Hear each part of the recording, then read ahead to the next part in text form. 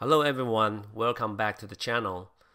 So I was making a tutorial about how to make the pectoral fins and the uh, gill plates for this glide bait. Uh, then I thought maybe I should just do the entire design series so you guys can follow along.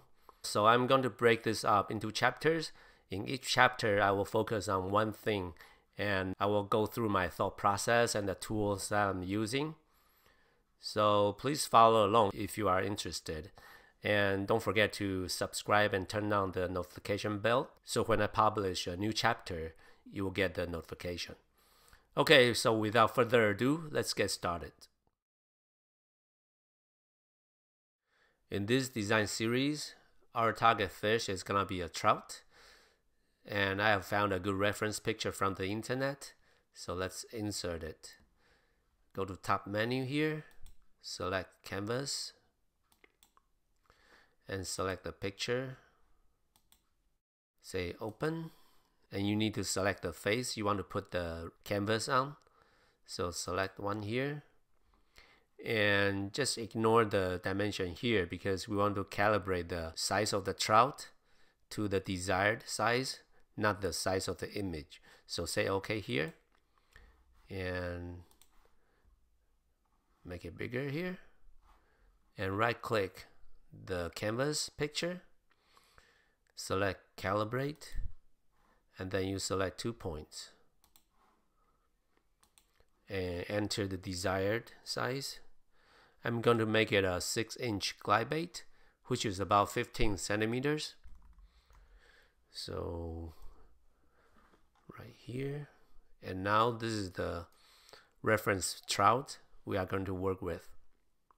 Next is the main body itself and we are going to use pipe form to do that. So go to form and then create. Actually let's do the center line first. So let's create a sketch. Uh, select this plane and we will use a straight line because this is going to be a pipe form so we need to leave some space between the end of the line and the tip of the form. So let's do it here. Leave some space. Don't go all the way. And same thing for the tail. Click check mark and finish sketch. And now go to pipe form, pipe, and select this line. And you see what I mean by leaving some space. Um, so 15 is good. We don't want to make it too big or too small. Average radius is good. Select the end type to be square and select the display mode to be this smooth display. And you see we have many sections here and actually we don't want that many. Basically we want to have one segment whenever there's a curvature change. So like this one. So let's count. One and I want to make this belly bump. So that's kind of reverse curvature. So let's count it. One two three four and then head is five. So at least five. We don't want to make it too many. We just need to capture enough. So this is three. So make it more. This one two three four. That's five. That's good. So say okay here. And we also need to make it symmetrical. Select mirror symmetry and select face. So one this side and one this side. Say okay. Now let's start doing the sculpting. So basically we want to move the face or the points edge to the desired location. So say modify and let's start from back.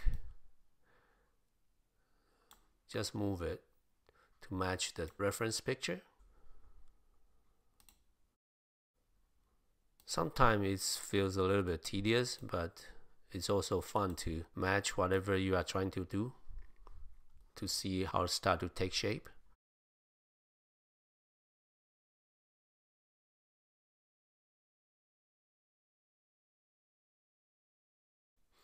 Okay, we can do this all day, but uh, I just want to show you how it's done. Now let's do the top view and before we do that uh, let's insert a top view canvas. So say okay here. Can I insert right here? Yes let's try that. So from computer this guy open. Need to select the face. And say okay. I need to oh I need a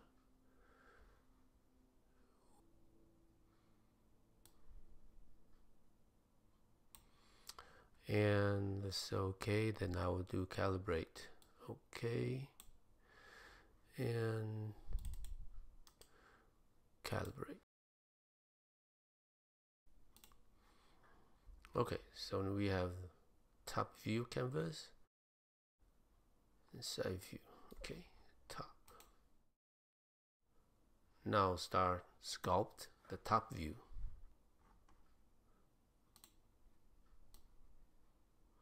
pointy so it's gonna be like this. And we will do the gill plate later. Let's get the rough shape for now.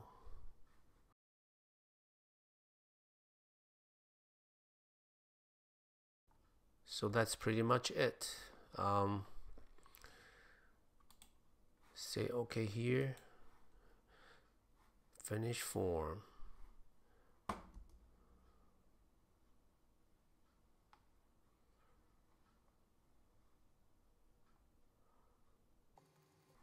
I think this is like more linear uh, taper down. So let's go back to the form again.